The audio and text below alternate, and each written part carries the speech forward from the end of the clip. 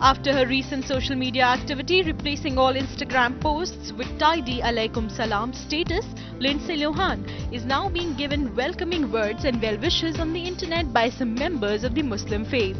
Over the weekend, many speculated that the 30 year old actress was converting to Islam. Earlier, the Hollywood celebrity had dropped hints about converting to Islam with being vocal about her interests in the religion and also shifted to Dubai last year.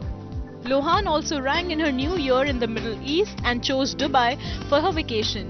There were previously rumors that Lohan might be converting back in 2015 when she was photographed holding a copy of the Quran while doing community service in Brooklyn.